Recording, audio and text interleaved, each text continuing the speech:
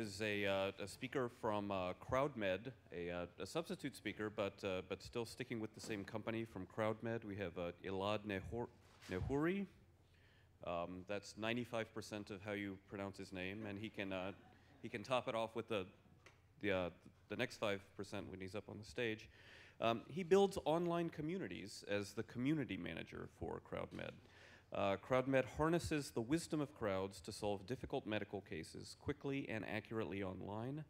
And the company leg- uh, leverages technology to allow access to hundreds or thousands of medical experts to solve complex medical problems uh, quickly and efficiently. Uh, welcome. Thank you.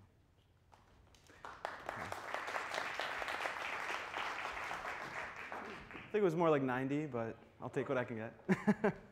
uh, I'm Elad Nehorai, and I'm the head of community management at CrowdMed. Um, our mission is to harness the wisdom of crowds to solve the world's most difficult medical cases. Jared Heyman, who is supposed to be here when I'm in his stead, is the founder, CEO, and visionary behind CrowdMed. His inspiration to start CrowdMed was his little sister Carly. At the age of 18, without any warning or apparent cause, she fell into a deep depression. She had to drop out of college. She would sleep 14 hours a day, too fatigued to do anything when awake but watch TV.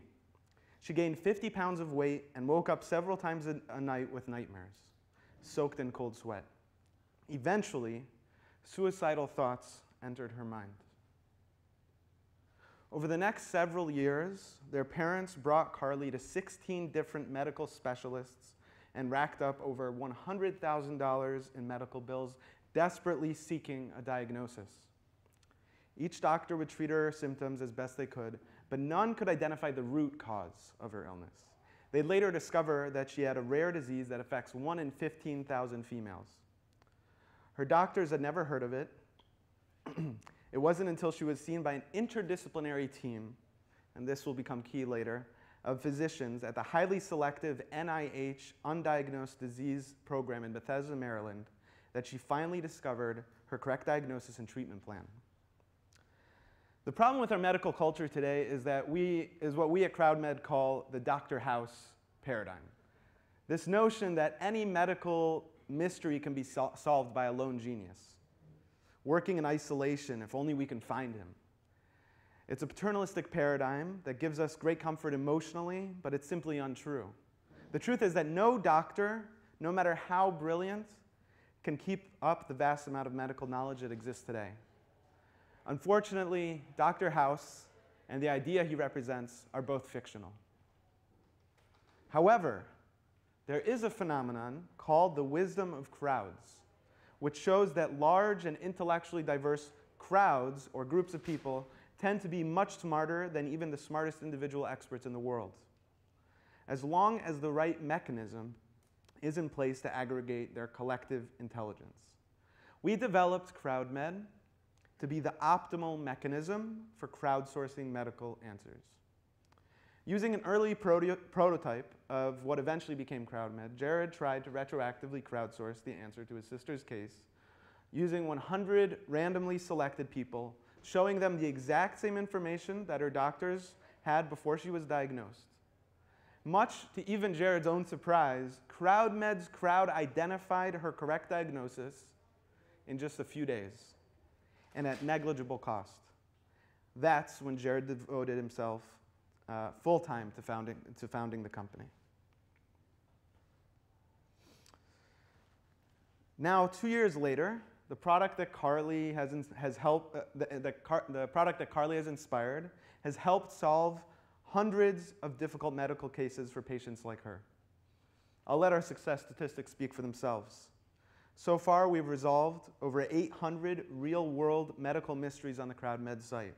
Our average patient has been sick for eight years, seen eight doctors, uh, looking for that doctor house doctor, and incurred about $60,000 in medical expenses to date. They've also spent over 300 hours uh, researching their case online on average before submitting it. Despite the incredible difficulty of these cases, over 70% of these patients tell us that CrowdMed successfully led them closer to either a correct diagnosis or cure. And about half say that their CrowdMed diagnosis was eventually confirmed to be correct by their physician. All of this for the average cost to us of under $200 in less than two months and using an average of 16 volunteer case solvers from around the world. To say it differently, our crowdsourcing approach provides twice as many medical opinions, about 300 times less uh, expensively, and 50 times more quickly than the traditional medical system had to date, helping to solve a majority of cases that the medical system so far has not been able to. Let's put this in context.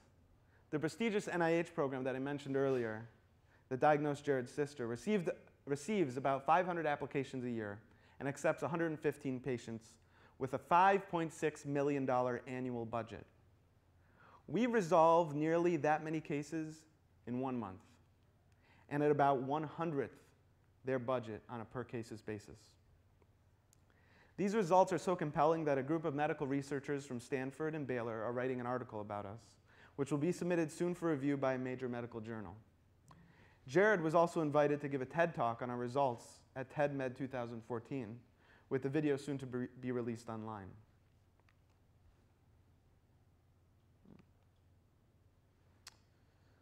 Although our success and ROI statistics tell an amazing story, what's most amazing is the hundreds of notes of thanks that we've collected from patients, with more coming in every week. Some of them will bring tears to your eyes. This one is just an example. I'll read it to you. The experience was terrific. I can't thank the, crowd, uh, the founders of CrowdMed enough. After years of struggling and living in terrified uncertainty, I actually have a diagnosis and a beginning treatment. I truly appreciate all your suggestions. If it weren't for you, I'd still be stuck without a clue as to what, what was happening to me. Thanks again, and I wish you all the best. And I can tell you, as the head of community management, this is actually something that I deal with every day, and we literally get an email like this every day. And it literally does bring tears to your eyes. I can tell you this on a personal level. We're truly saving and improving lives every single day. A patient once offered to invest, I actually got this email. A patient once offered to invest his life savings into our company because he so believed in our mission and the value we provide to people like him. So let's talk a little bit about how CrowdMed works for these patients. They start by completing our online patient questionnaire and uploading relevant medical records, images, and test results.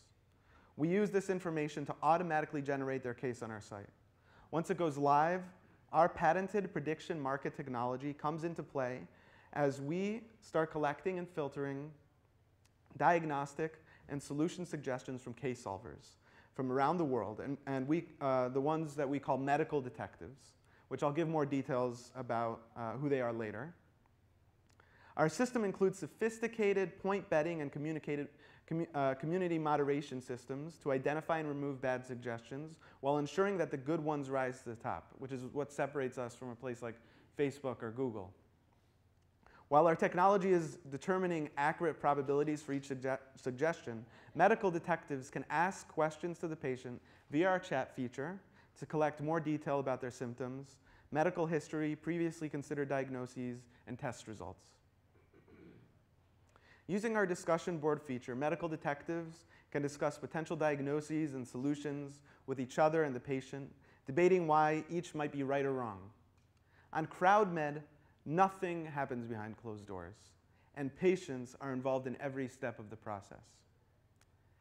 After an average of 60 days on the site, the case is closed and the patient receives a PDF report summarizing the results, which they then bring to their doctor to discuss and hopefully get a diagnosis.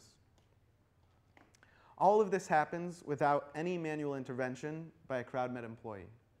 From the company's perspective, the entire process is 100% automated from when the patient first visits our site to when they receive their final results. So, who are these patients that we're helping?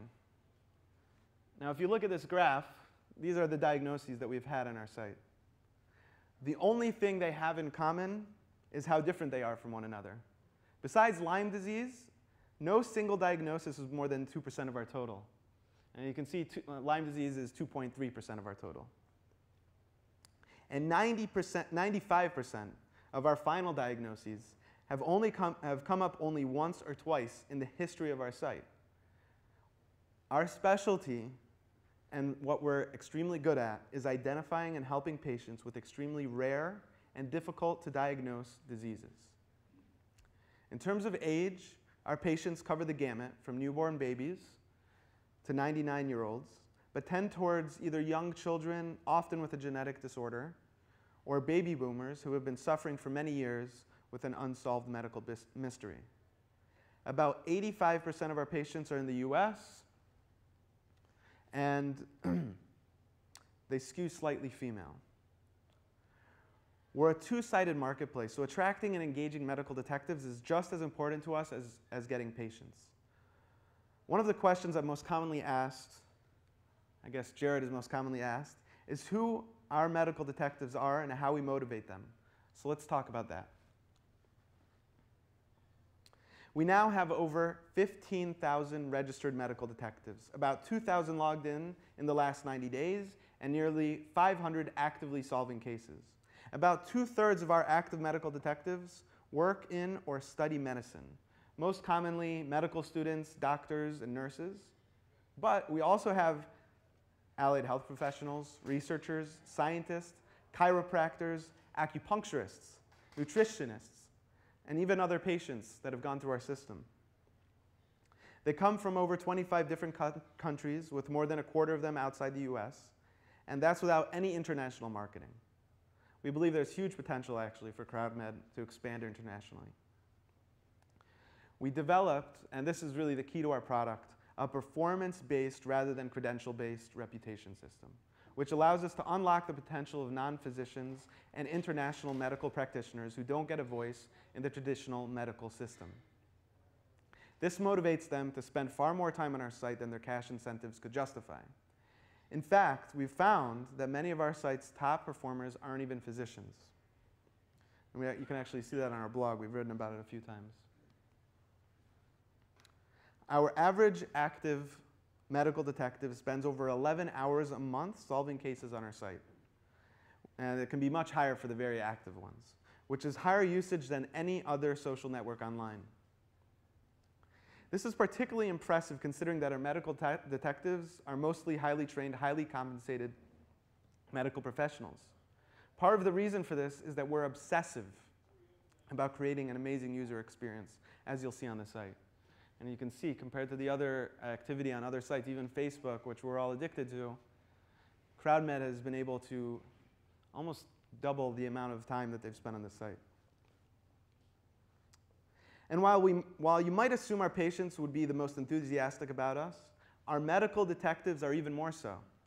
About 94% of them say that they'd be very or somewhat disappointed if we no longer existed, and 86% would be extremely or very likely to recommend CrowdMed to their peers, versus only 3% of detractors. Customer loyalty scores like this are better than Apple, Google, or Nordstrom.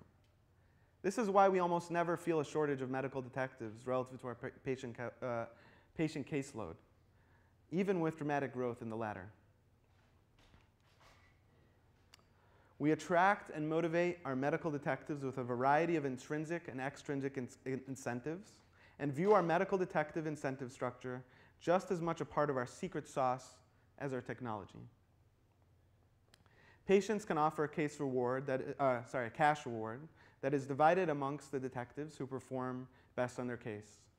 And although some of our best medical cases have earned thousands of dollars solving cases, solving cases on the site, uh, most don't do it for the money, as you can see here.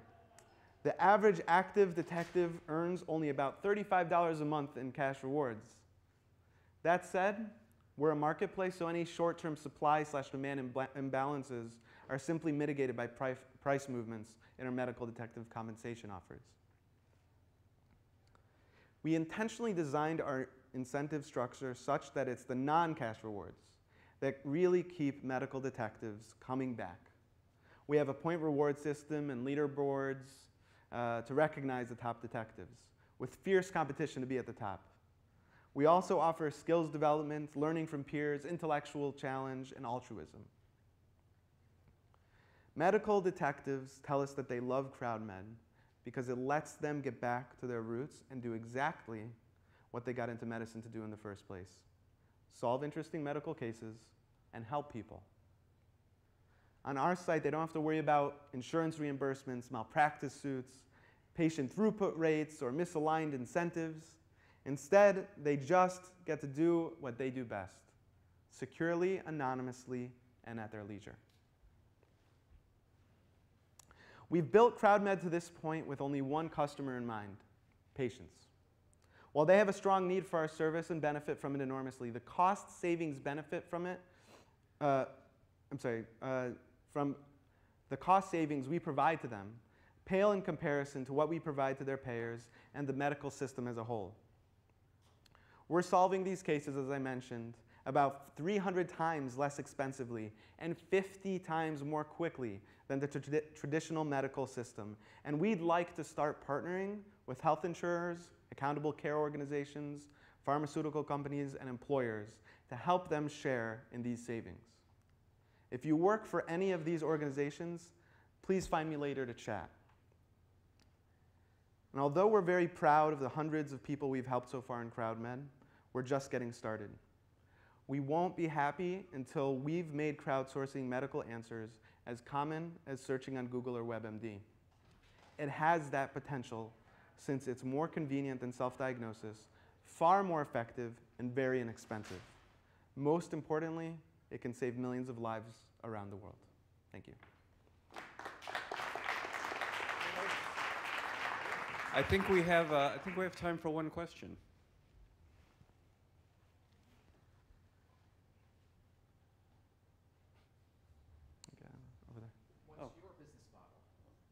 What's, what's your business model? So like I mentioned before, each patient offers uh, incentive to the, like cash incentive. So we take a small percentage of, of each reward that's kind of given to our medical detectives, and, uh, and that's basically how we make money to our site. And that's actually part of the reason we're also looking to work with and partner with other uh, medical or, or ACO or employer organizations. We still want to work directly with the patients through them uh, and still work in that basic business model, but uh, essentially that's what it is. Fantastic, thank you. Thank you. Great job.